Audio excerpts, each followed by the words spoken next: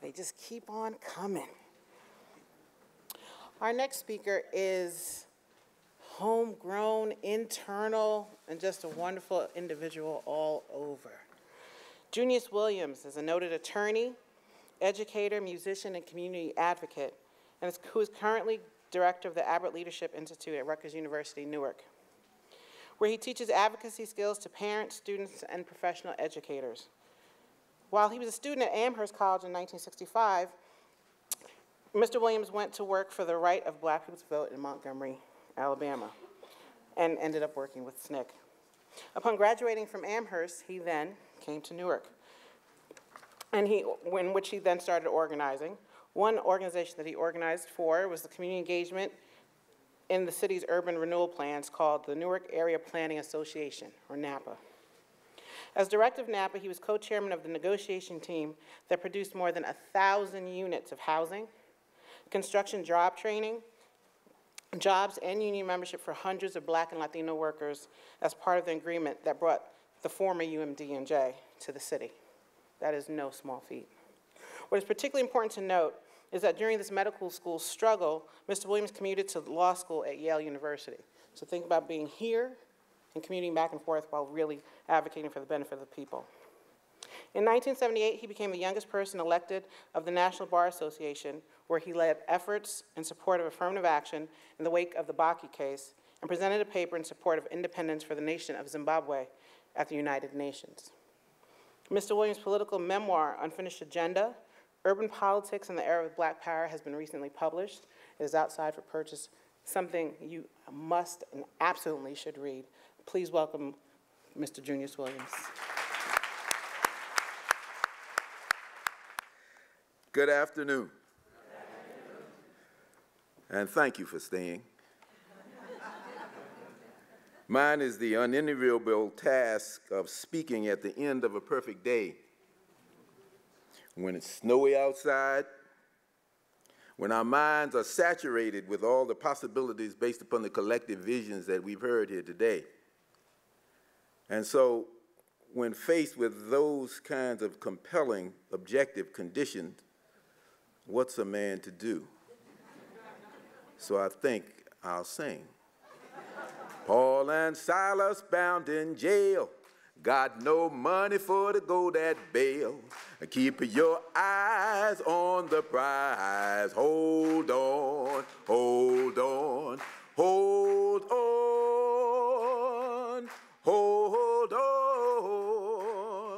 on. Keep your eyes on the prize. Hold on, hold on. Only thing we done was wrong. Uh, let injustice last so long.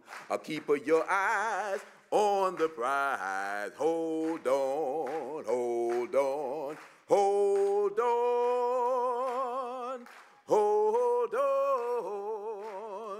Uh, keep your eyes on the prize. Hold on, hold on. Only thing we done was right was to stand up and begin to fight. Uh, keep your eyes on the prize. Hold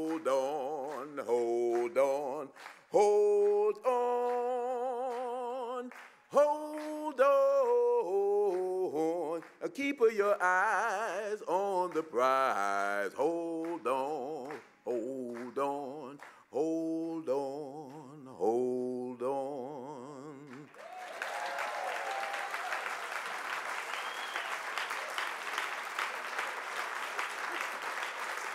That's a, that's a song of determination. And you see in the movement, in the Southern movement, there were songs for every occasion. That's one of the things that drew me back down south after my mother had pushed me north from Richmond, Virginia. That song calls for grit, determination, and all four of our speakers today have certainly evidenced that. And I think we ought to give them another round of applause.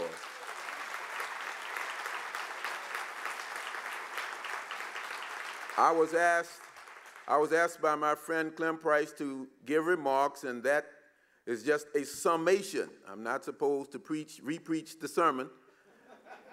the sermon has already been preached, Junius. Remember that. He's, he's nodding. So I'm going to call on my lawyer skills and see if we can do a summation.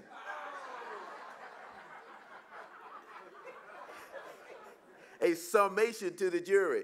We listened to, for example, my friend Bob Moses, and he talked about stumbling upon a line of demarcation upon which he would go no further.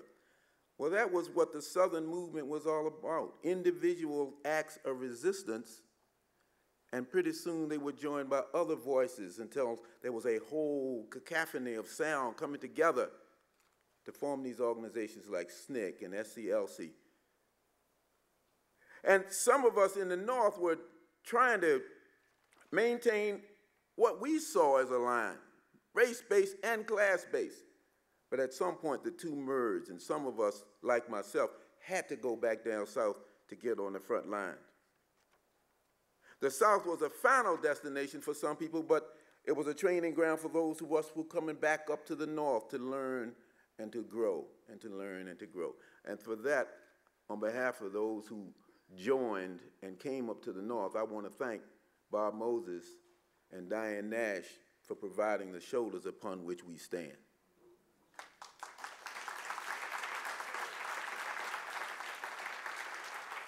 This is talking, we're talking about organizing. Well, Barbara Ransby talked about quilting a movement, community organization, past and present, and she used the figure of Ella Baker.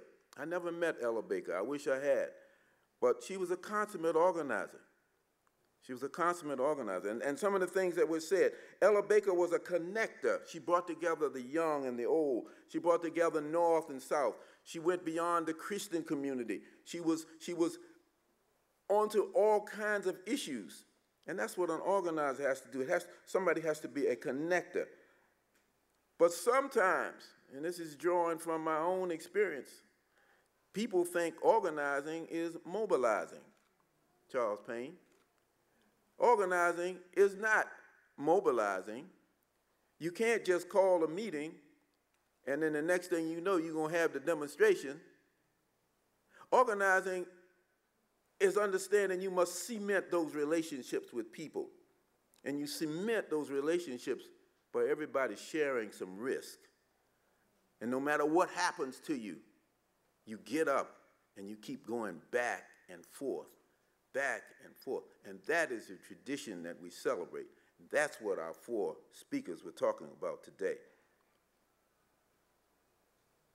Barbara Ransby talked about widening the lens. Well, right here in this room, we got people who are involved in education, people who are involved in housing, people who are involved in environment, people who are involved in immigration. We all doing the same work because it's not that many people doing it. The misconception was that there were all kinds of folks doing all kinds of things at the same time. It wasn't like that.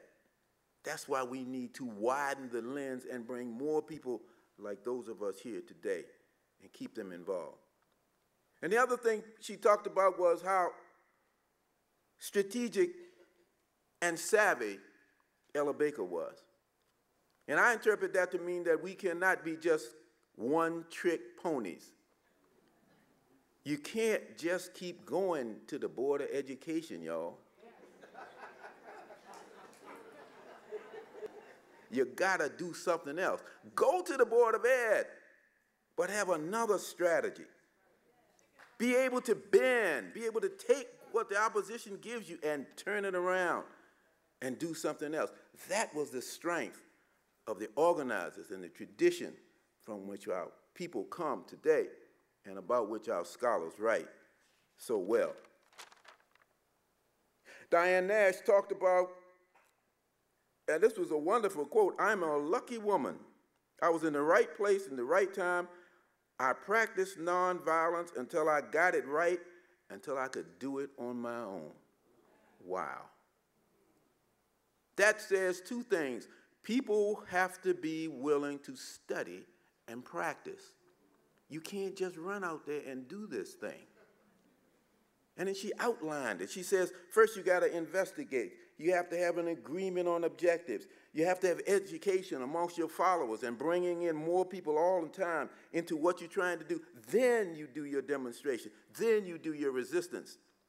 And the best thing she said wow, I'm gonna have to use this, Diane, I'm gonna have to use this. She said, oppression always requires the cooperation of the oppressed. If the oppressed withdrew their participation from an oppressive system, the oppressive system falls. Did you hear that, Ms. Holder? Did you hear that, Achille? If we just step back and withdraw our support from this thing, then it's going to fall. I think we have to remember the words that were given to us today. Finally, Charles Payne talked about the transformation of people, development of leadership, another kind of leadership, not the kind of leadership that we settle, that we that we that we celebrate once a year with Martin Luther King, where he has been transformed into this this king of peace and love, but where we celebrate the transformation of people into becoming their own leaders. And that's the kind of leadership development we need to have. So that when we get Paul and Silas bound in jail, got no money for to go that bail, we'll know that there's going to be somebody to raise the money. We know that there's going to be some lawyer to get them out. We know there's going to be somebody to hand out the flyer to let folks know that Paul and Silas are in the jail. We know, we know because we are organized. Let's go out and get organized. Thank you. Thank you, Clem Price. Thank you, committee. We love you for letting us do this every year.